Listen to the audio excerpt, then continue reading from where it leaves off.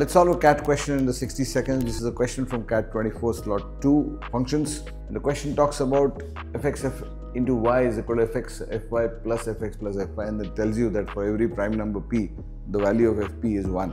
And then we are talking about finding the value of f 1,60,000. So the only thing you have to do in this question is understand that 1,60,000 is 2 raised to 4 into 10 raised to 4, that is 16 into 10,000. 10, and once you get that, you start doing this. First of all, focus on trying to find the value of f 10,000.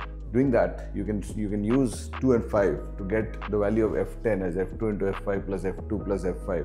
And since f 2 and 5 both are prime numbers. This will be 1 plus 1 plus 1 which is 3. And then from f10 we can use f10 into f10 which is f100 which will be 3 into 3 plus 3 plus 3 which becomes 15.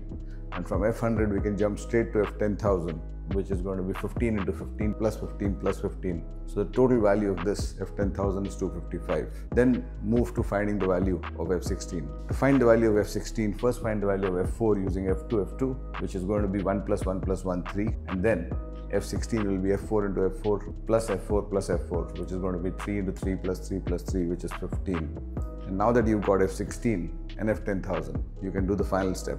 The final step is using these two values. F60 1,60,000 will be this into this plus this plus this and the answer turns out to be 4095 follow me for more